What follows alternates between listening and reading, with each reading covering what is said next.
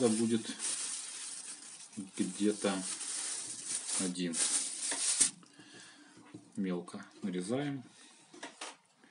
Вот это выбрасываем.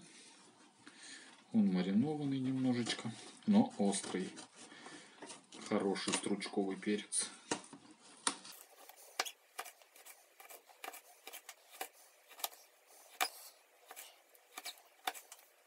Такими средними по толщине полукольцами. Нам еще нужно будет нарезать лук, нарезать стручковую фасоль замороженную. Потом все это поджарить, фасоль, протушить ее с томатным маринадом. И будет у нас шикарная подлива. Далее на сковородку нальем немного масла растительного и начнем обжаривать стручковую фасоль.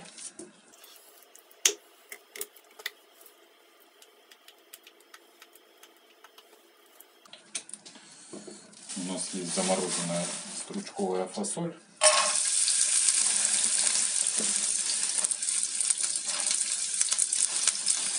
Немножечко ее обжарим перцем.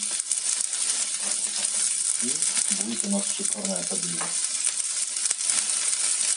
Добавим чуть-чуть лучка туда. Добавляем лук.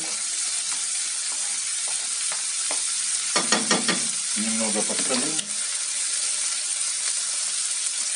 И добавим немножечко перца черного молотого.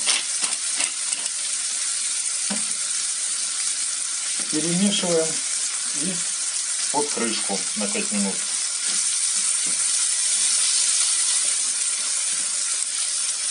На медленном огне в течение 15 минут будем обжаривать нашу стручковую фасоль до желтовато-золотистого цвета.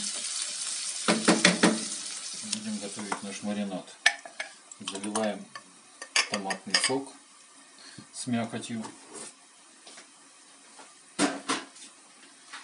И добавляем где-то столовую ложку майонеза.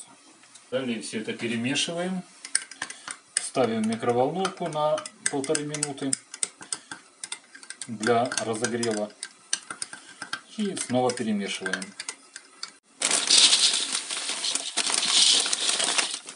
Будем готовить вот такую вот замечательную вермишель.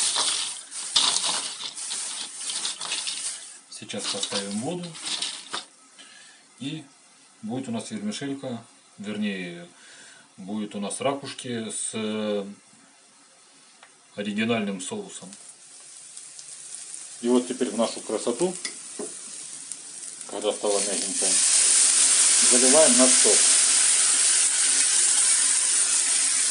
На мелком маленьком огне начинаем тушить до полной готовности.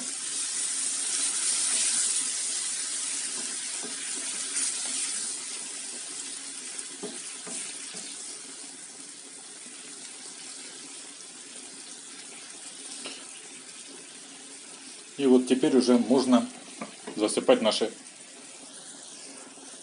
макарошки.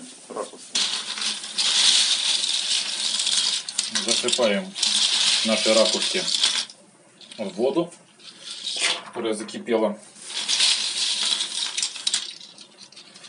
После чего, пускай они прокипят около 3-4 минут, и минут на 10 мы их просто выключим, накроем крышкой и дадим отстояться. После чего они уже будут полностью готовы.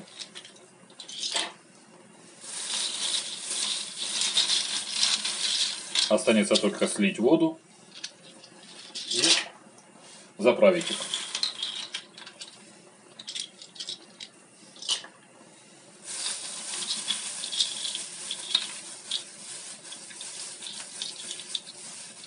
Вот и все.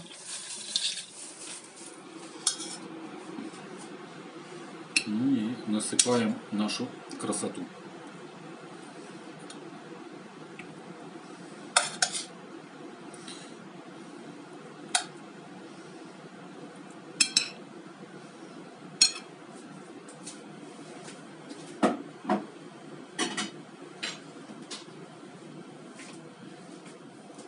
украсим немножечко тертым сыром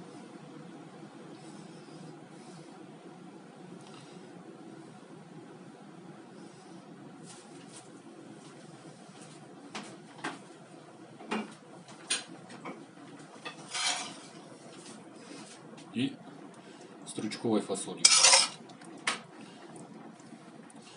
с подливкой. Вот и все.